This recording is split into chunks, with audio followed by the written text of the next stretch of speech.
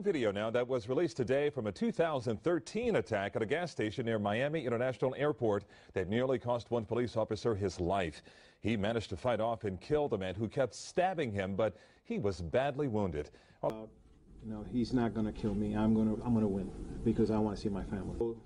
To hell in a handbasket in a few seconds. You know, it's uh, it's your training, and um, and you keep your wits about you, and you do what you got to do. You know, and then you survive. The officer, with more than two dozen years of fighting crime under his belt, survived with massive cuts on his arms, legs, and chest.